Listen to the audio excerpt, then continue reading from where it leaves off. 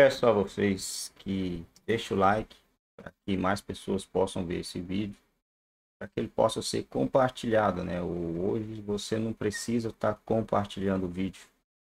Basta você deixar o seu like aí que a plataforma automaticamente já vai estar compartilhando. Deixe também o seu comentário, né? O que vocês acham dessas pessoas que foram presas? Qual é a diferença dela para esse cara aí? Esse cara aí, ele destruiu, ele acabou com o dinheiro público, né? Foi preso, gente. Eu não estou aqui acusando ninguém levianamente, né? Foi preso, foi julgado, foi tudo, passou por todo o processo. E do Neida, do Neida, ele foi solto. Um cara que parece, se eu não me engano, era mais de 100 anos de prisão.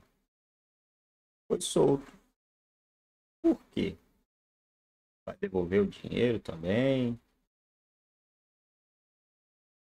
É triste, né? Aí você pega pessoas que tem que pagar tem que pagar. Mas cadê o pau que bate em Chico e não bate em Francisco? Porque só um lado?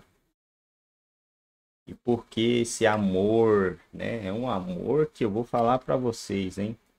Esse pessoal do amor, de um amor desse daí, eu corro é longe, não quero perto de mim, não. Esse tipo de amor que eles têm pelo Brasil.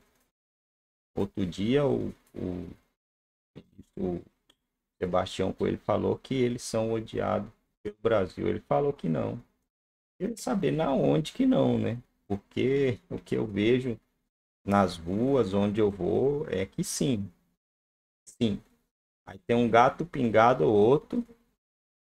Fala que não. É gato pingado, gente. Não sei, é estranho.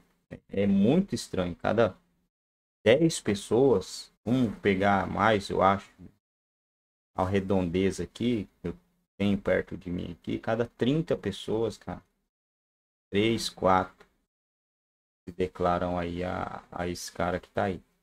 De resto,